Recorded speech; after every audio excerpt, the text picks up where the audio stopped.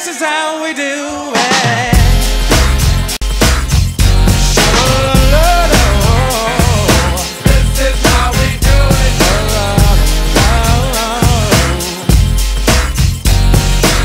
Hello, my name is John Keller, aka the IT Beast, and thank you for joining me in this instructional video. We're going to be going over installing VMware tools on Linux virtual machines.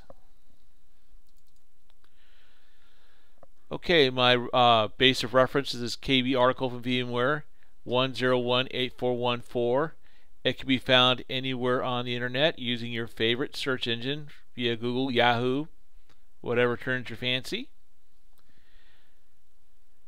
Alright, so with that in hand, we're going to go ahead and get started. Okay, so now we're going to start installing the VMware tools. There's a few prerequisites we're going to go over first. First of all, we're going to be uh, doing this on CentOS, mainly because I just got through doing an instructional video not too long ago using this particular template, so I figured, you know, why rebuild the wheel? So we're going to use that. It can be done, though, however, on any Linux distribu distribution, anywhere from Fedora, Ubuntu, Lubuntu, done it on Linux Mint. Haven't done it on Fedora, though, but it is one of the ones you can install VMware tools like I said, pretty much any Linux dis distribution you can install VMware tools. Now, first thing you want to do, whether you're whatever version of Linux you're running, you want to make sure your software is updated. Two ways can be done. You can do it through the GUI, go to Administration, click on Software Update. And the reason why it's giving me this little uh, warning is because I'm not connected to the internet, but if it was working, you would see a list of files that would need to update. Second of all is, of course, through the through the terminal. Now, as with anything concerning Linux, you need to be root in order to make any changes. So we're going to log into root now.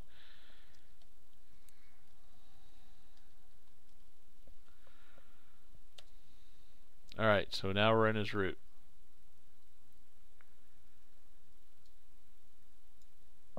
And then the other way is yum without the user GUI user interface. And what yum is, real quick, is it's basically the Linux version of Windows Update. It uses repositories to where your Linux box goes out, grabs the software it needs to update, or even applications, downloads them, and then installs them for you. The TAC Y switch is for so you don't have to keep saying yes to every time it says, do you want to install this? Do you want to download this? It will automatically do that for you. Now, if you still want to install without updating your software for whatever reason, there is a part of the kernel that does need to be updated. And I'm going to show you the command for that in just a second. I'm going to make this slightly bigger. You'll just be using one spec of the yum. You'll be installing this part to upgrade the kernel so it can accommodate the VMware tools. Then you would hit enter and go out and it would make the uh, installation for your uh, virtual. But again, if you did the software updates, you should not have to do this. So we are now going to move on. I will get this out. I apologize. I meant to delete that. It didn't delete. Well, we'll just go ahead and do this then.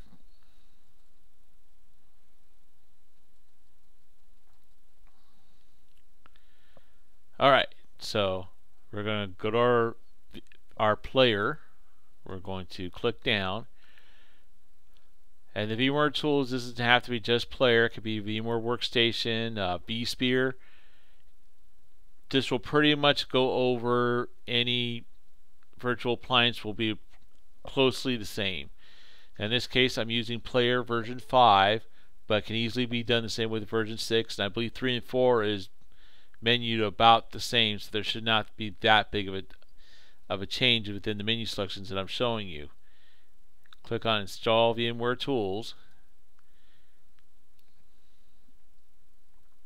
And what's going to happen is an ISO will be loaded into your virtual CD-ROM with the file that you'll need to install. Now, unlike Windows, you have to manually install it. It's not a self-executable installation to where it will install the files for you, so that is the reason why I'm showing you this video.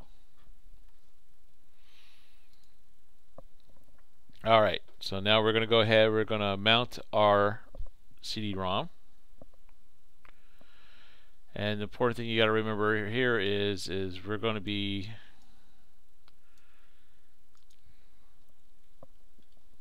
installing this VMware Tools tar, which is the compiler way, like I told you earlier. So we'll go ahead and do the mount.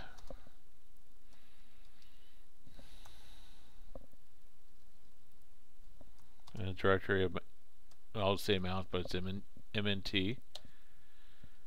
This is just let you know it's write protected. You can't do anything to it. Um, it's just a warning. We can safely ignore it. Then we are going to go into that directory. Okay. And then we are going to copy the VMware Tools file off of the ISO.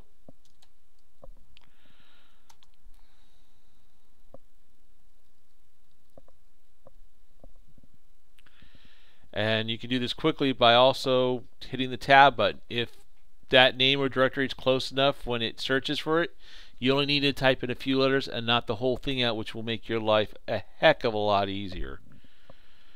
And then we're going to tell it to copy it over to the temp directory. Again, you don't have to use just temp. You can use whatever directory you feel comfortable with, but to make it easy, we're just going to use the temp directory. Alright, so now it's copied over. So we are going to go into the temp directory.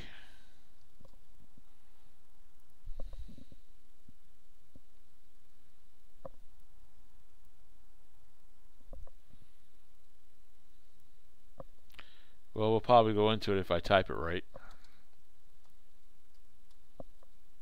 There you go. Forgot to put the switch on it. Then we're going to U-mount the mount directory, so it's going to unmount the ROM.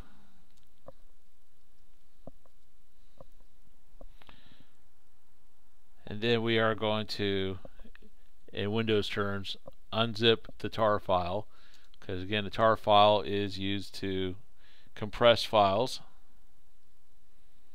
We're going to use the XZVF option We'll type in our first few letters and getting there.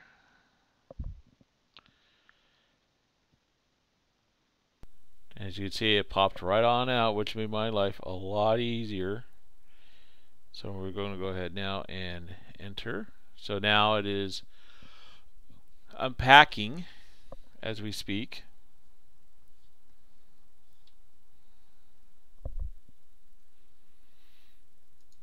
Alright, we're going to close this window. And we're going to make this bigger so we can see what we're going on. And since this is such a clutter, I am going to clear the screen. Alright, so we're going to now go into the VMware Tools Distrib directory.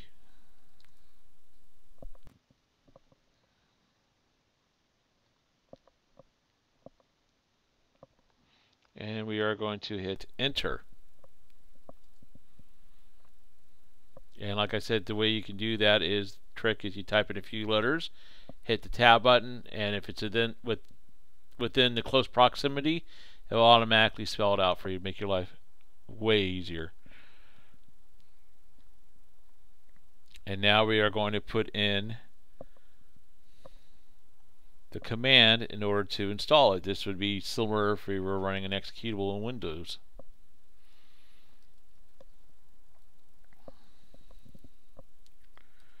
Which is period forward slash VMware tac install tac pl and then we are going to hit enter.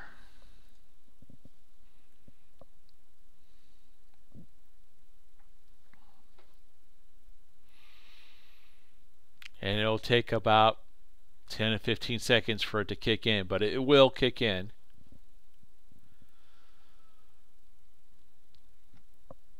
All right, it's going to ask you a bunch of questions. You're just going to hit enter and you accept all the defaults. Because again, this is for beginners learning to do this. If you are more advanced, then by means go ahead and do so. But for right now, we are just going to hit the defaults.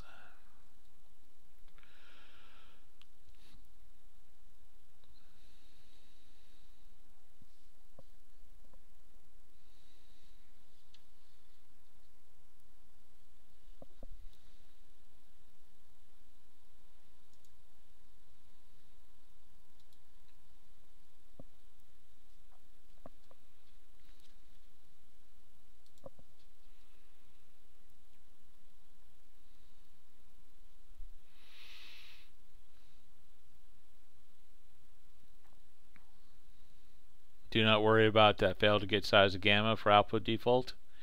It will still continue to install.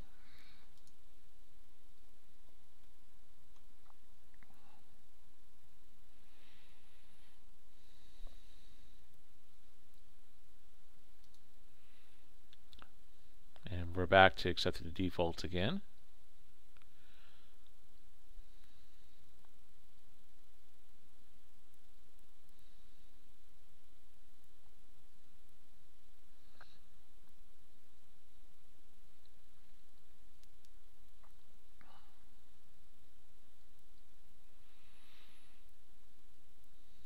I'm moving a little slowly because I want to make sure you can see what output is going in in there. Even though we are not going to be doing anything, it's still nice to see.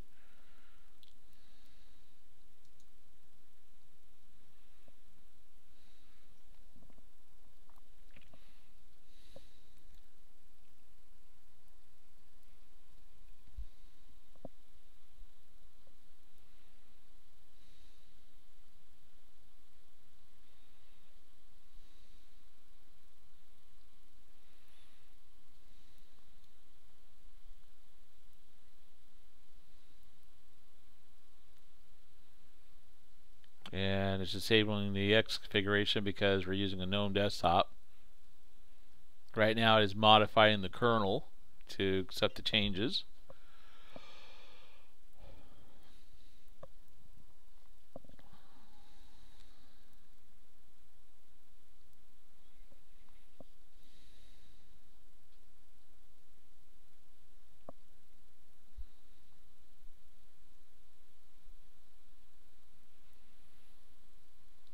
And uh, one thing I also want to point out is I'm using the player that's connected to VMware Workstation, so the ISO file is already there.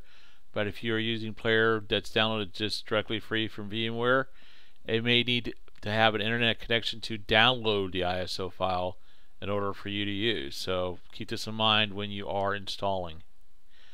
Alright, you see that failed mounting HGFS shares. Do not worry about it. It will not affect the final end result of the install. As you can see, you get this little welcome to VMware. I hope you like VMware tools, and then it says VMware team. Just paraphrasing. And we are done. All right. So from this point on, this will again. I don't know if I explained this real quick. Uh, VMware tools are used to enhance your virtual machine make it prettier with the graphic user interface, um, your virtual NICs, and the different, like you saw, the print drivers to make life easier for you. Now, I'm also going to show you, and even through, you'll probably never do this, is to uninstall VMware tools for whatever reason, including troubleshooting. Maybe you're having problems. You can uninstall the VMware tools. So we're going to go ahead and do that real quick.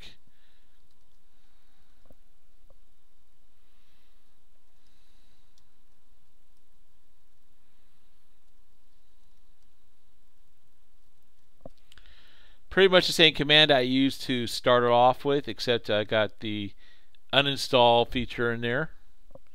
Ahead enter. So it is now going through and removing everything we just installed.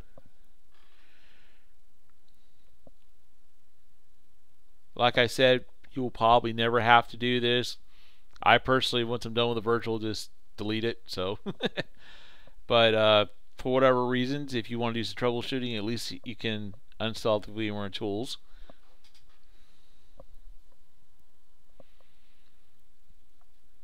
And when it is done, it will go back to the command prompt.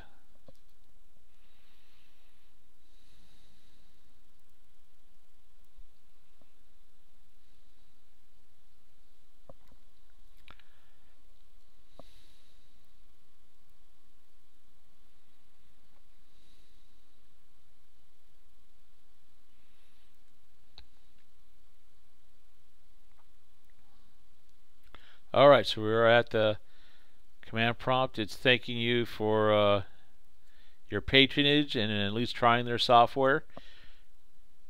So we're going to go ahead and exit out. We're going to close the terminal. Alright then, um, I want to thank you for joining me in this instructional video. And if you liked it, please click like. And if you really like, you can go ahead and subscribe.